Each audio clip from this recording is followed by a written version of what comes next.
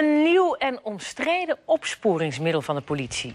Vlokvezel heet het. En vlokvezel is al aangevoerd als bewijsmateriaal in een rechtszaak. Het was een zaak tegen een inbreker. Aan de hand van de vlokvezel kan de politie namelijk precies zeggen... of iemand op de plaats delict is geweest.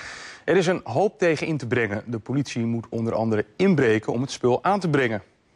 Dit is vlokvezel. Het komt uit de textielindustrie en zit ook in kleding. Vlokvezel is uh, een polyesterdraad wat uh, heel erg uh, klein gesneden is. Dus dat is gesneden, is een draad die ongeveer een, een, een honderdste millimeter dik is.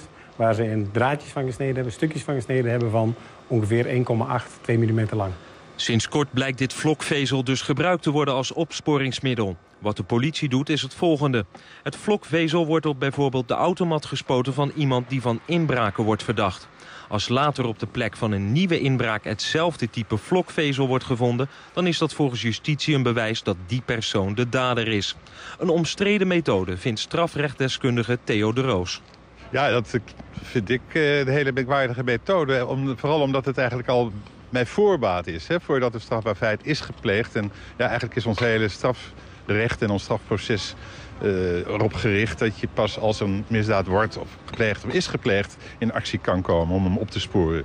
Voor de rechtbank van Den Bosch voerde justitie vlokvezel gisteren voor het eerst aan als bewijsmateriaal. Een bij de verdachte achtergelaten vlokvezel was gevonden op de plaats van een inbraak. De advocaat van de verdachte plaatst kanttekeningen bij die methode.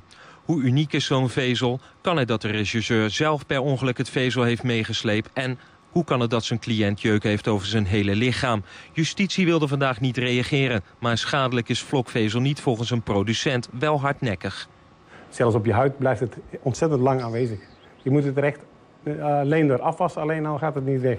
Het blijft er echt op zitten, het kleeft ook echt, het is ook statisch. Dus je, blijft, je wordt het gewoon heel moeilijk kwijt. Voor de zaak die nu in Den Bosch dient... heeft de politie ook nog eerst moeten inbreken in de auto van de verdachte... om vlokvezel aan te brengen. Is hier nou juist uh, geen verdenking...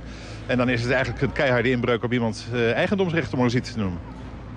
Nou, er is er wel een verdenking, maar een verdenking voor iets wat nog moet gebeuren. Ja, dat is dus geen verdenking zoals dat is geregeld in ons wetboek.